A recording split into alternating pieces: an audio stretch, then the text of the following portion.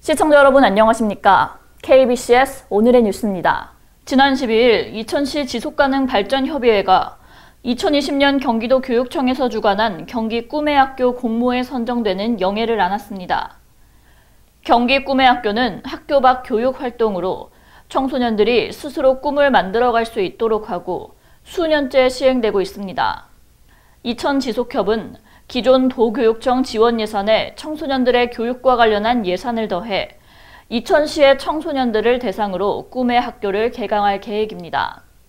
전영구 운영위원장은 경기 꿈의 학교는 2019년부터 준비해온 프로그램인데 1년 동안 잘 준비해온 만큼 청소년 시절부터 지속가능 발전의 목표를 알고 스스로 실천에 옮긴다면 사회에 큰 힘이 될 것이다라고 전했습니다. 지금까지 KBCS 뉴스였습니다.